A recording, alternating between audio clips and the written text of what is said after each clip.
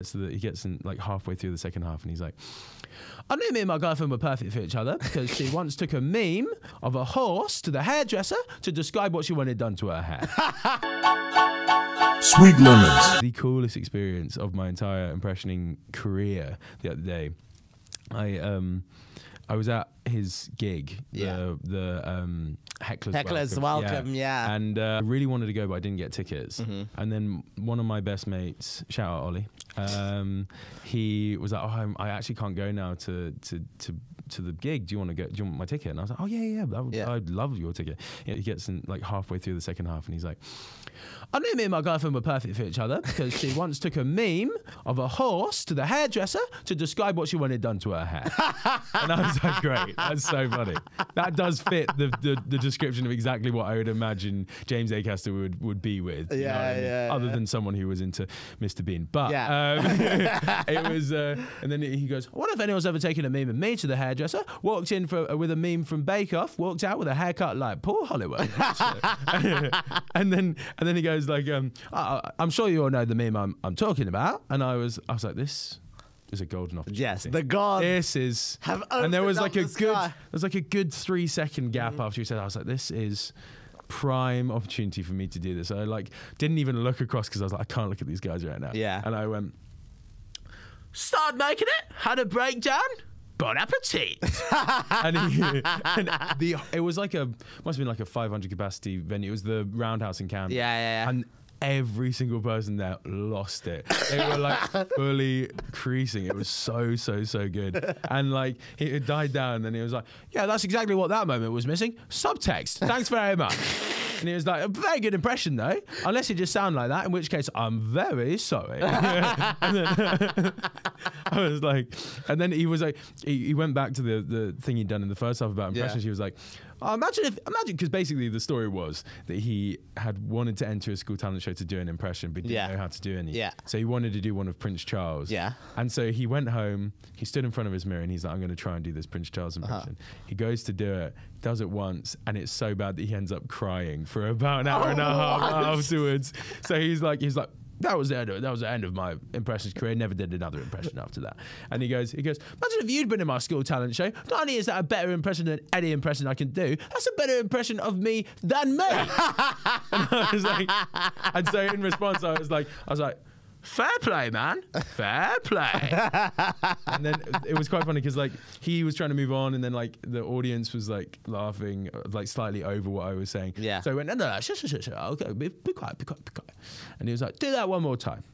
And I was like, fair play, man. Fair play. He's like, that's a really weirdly good impression. I don't like the fact that you're just in the audience for the rest of my show. How am I supposed to carry on when there's a man with my voice just sitting up there somewhere that I can't even see? What if I? What? I was like, I was like thinking, I was like, what if I'm me from the future? I was gonna shout like, what if I'm me from the future? And he had no idea. But no, I was like, I was like, gonna let him carry on with his thing. then he was Yeah, like, he was like, right. The, the end of it was he was like, right. I want you to to memorize the rest of my set. We'll get you on at the end. You can do the second half again. Everyone gets an extra half the ticket of their of their payment back.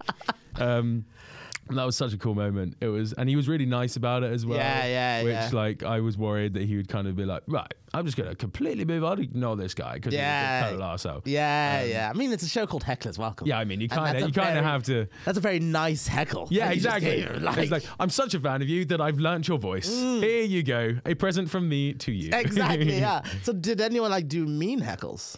Oh yeah, there were some really bad heckles that night. Like you could tell that these people would come in there and just like, it's like, oh yeah, geezer, I'm gonna fuck it. Oh, you're gonna watch this, mate. I'm gonna, oh, I'm gonna get him. This is just your And, like, impression of a geezer. Yeah, it's just a geezer. Just He's a like, geezer. because he was sat directly in front of me to the left with like three blokes. Yeah. And um, after I did, because that was the first heckle of the night, like halfway through the second half, me Yeah. me doing my impression, and I think sadly, as much as I was glad that I did it, I think it slightly opened it up Yeah. to everyone else then doing their little heckles. I see. And a guy in front of me, completely out of nowhere, Yeah. just kind of went just like in the middle of just like quite a sense he was talking about like how he he was thinking about giving up comedy and stuff Yeah, and in yeah. the middle of it he just goes your mum should have swallowed you Oh. and, and everyone just looked no one really laughed and everyone just kind of looked around like do you really just say that now That was a really bizarre and an inappropriate time to choose to do that. Like I get it.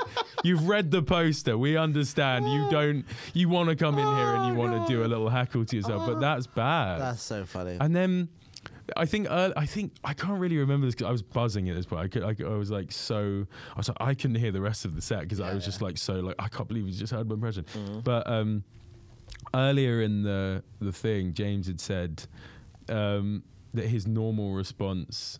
Oh, he'd been at a thing where someone was really mean about his mum, Yeah. and his response was.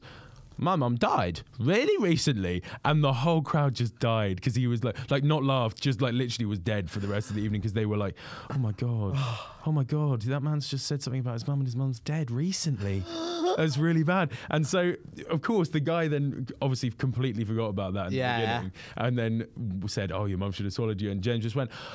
Just so you know, my mum's dead really recently, and like everyone like lost it because obviously it was a callback that we knew that his Yeah, was dead. yeah, and, yeah, uh, yeah. but it was it was so good, and he really like warmed like, and then I think someone else called out like, your girlfriend left you for Mr. Bean, and he was like, you can't, I told you that, I said that to you, you can't then use that against me.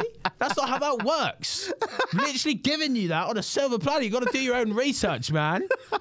If I make fun of myself about it first, you can't then use it against me. um, and then, but yeah, no, it was a great night. He's so, he's he's a really good comic. He's He like is, really he's- genuinely just so solid every time. he is so talented, and it's like